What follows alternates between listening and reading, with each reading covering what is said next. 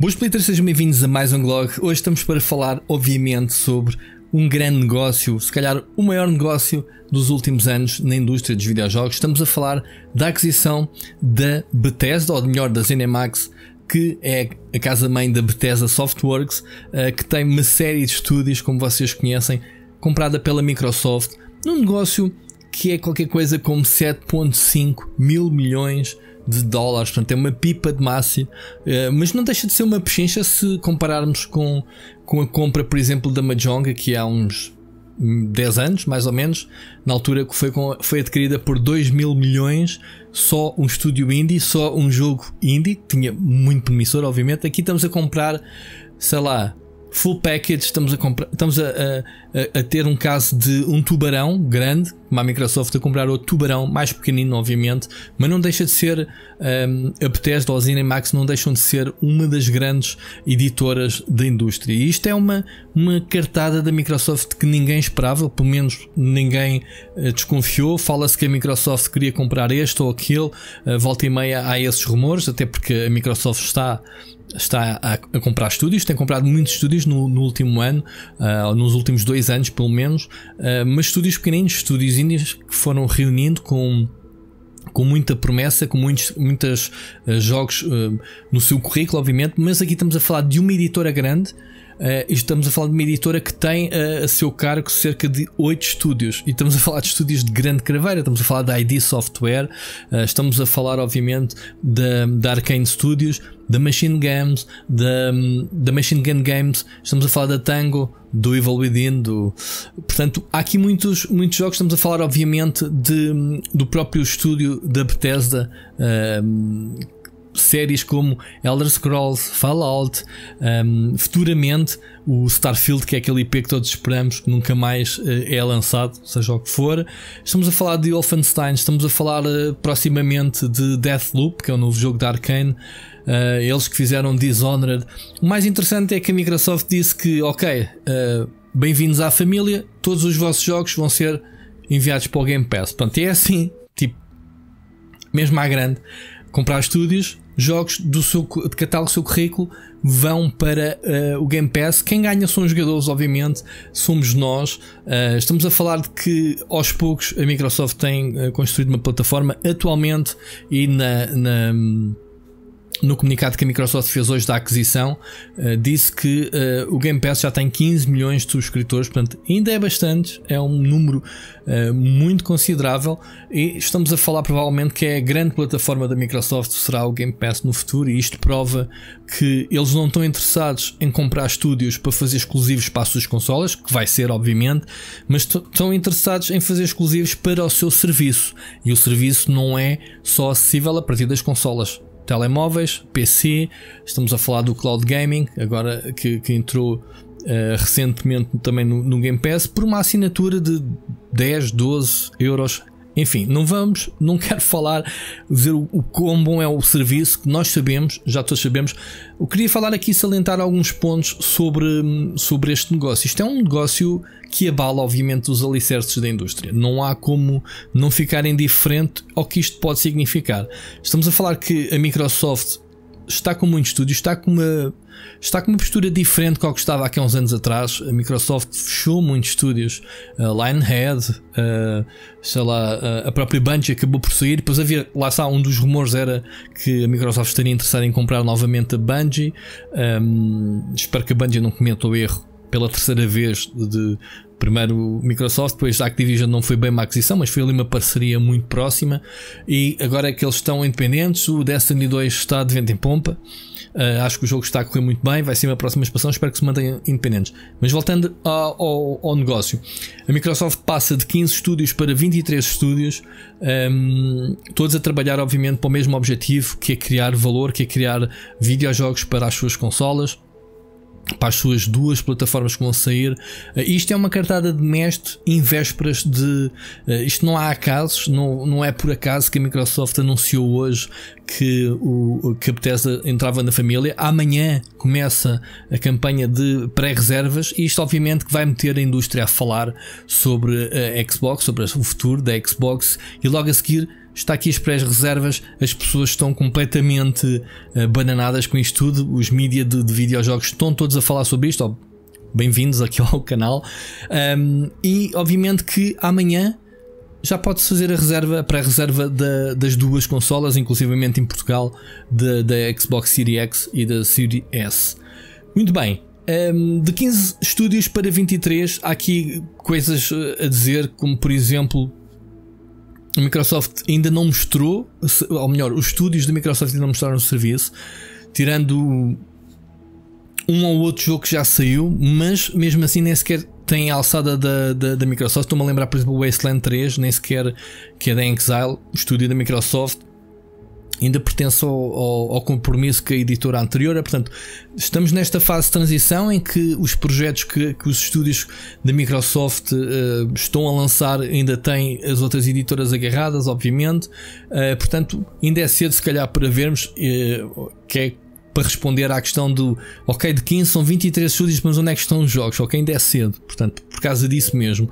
Um, vamos ver como é, que, como é que é no futuro. São muitos estúdios, malta. Se cada estúdio fizer um jogo por ano, são 20 que não fazem, obviamente, mas imaginem 23 estúdios a bombar jogos fazer adaptações, obviamente, uh, lançar as suas franquias anuais.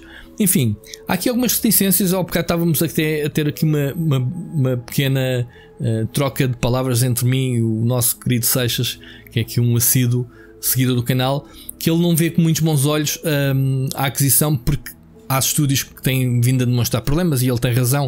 Uh, uh, 343 Industries, que é uh, a empresa do Halo, recentemente um, adiou o Halo Infinite. Uh, mostraram claramente problemas em, em, em, lançar o jogo neste momento.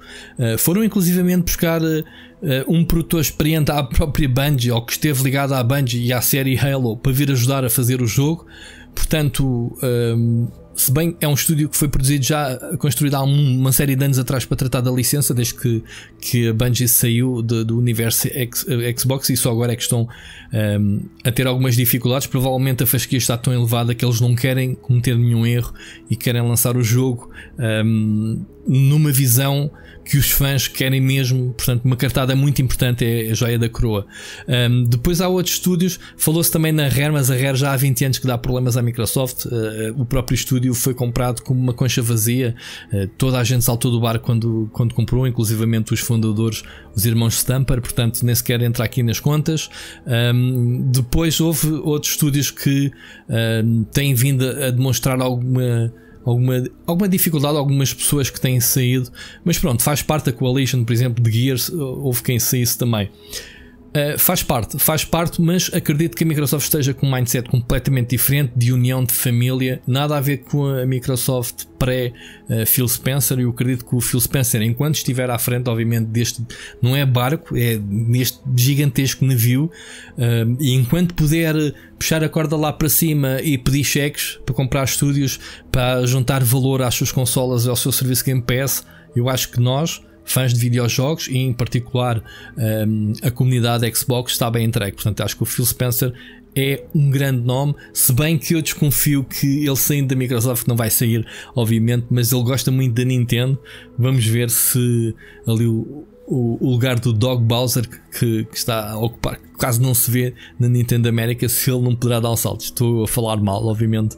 Um, não vai ser porque, porque o Phil Spencer já está há muitos anos, muitos anos antes sequer ter assumido a pasta da, da Xbox. Enfim, não quero estar mais a divagar. Uh, Queria-vos só dizer que, por um lado, é muito fixe termos um, um, uma nova família de estúdios a trabalhar. Há uma coisa muito interessante que temos de ter em conta. Falamos todos dos jogos, falamos dos estúdios em questão. Há muitos estúdios que gostamos e há a série Fallout, uh, exclusivo da Microsoft, a série de Elder Scrolls. Uh, estamos a falar de vários IPs, vários uh, nomes, mas lembrem-se que o talento, obviamente, as pessoas que trabalham, se se mantiverem no barco, é importante reforçar isso, é um valor muito acrescentado. Mais ainda, não se esqueçam que a Bethesda tem tecnologia própria. Nem todas as editoras têm. A Electronic Arts tem o seu Frostbite, que utiliza internamente. A Bethesda, desde que comprou a ID Software, tem o motor ID Tech. Neste momento vai na sexta geração, se não me engano. Eh, que foram agora com, com os jogos, com o Doom, os jogos que lançaram e a própria produção interna que eles deixaram de licenciar para fora. Eles ganharam um motor gráfico à borda, digamos, não é à borda, metida no pacote de compra e é muito importante para ajudar os estúdios internos a terem um boost de tecnologia que se calhar eh, precisavam de a produzir para os seus próximos títulos. Portanto, é muito fixe que todo o universo de, dos estúdios da Microsoft venham beneficiar a beneficiar, obviamente, de, desse motor que é muito bom, é provavelmente e é, sempre foi, desde sempre, concorrente do Unreal. Uh, deixou de o ser a partir do momento em que, que, deixou de ser licenciado e as pessoas tiveram, obviamente, que escolher ou o Unity ou Unreal, que são os motores mais populares atualmente. Mas estou curioso para saber o que é que a Microsoft vai fazer ao ID Tech, se vai manter eh, internamente, tal como até aqui, nos seus estúdios ou se vai eventualmente licenciar e poderá ser mais uma fonte de rendimento, obviamente muito interessante.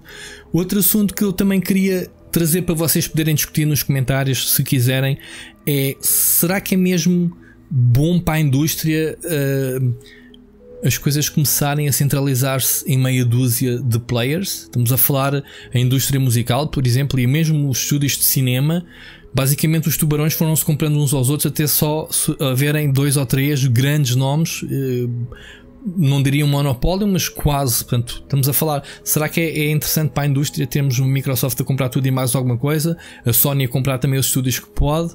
A Nintendo não é bem comprar estúdios, mas uh, temos uma Ubisoft e uma Electronic Arts e uma Activision pouco mais. Depois temos uh, uh, o campeonato a seguir, uh, THQ Nordic, temos nos indies.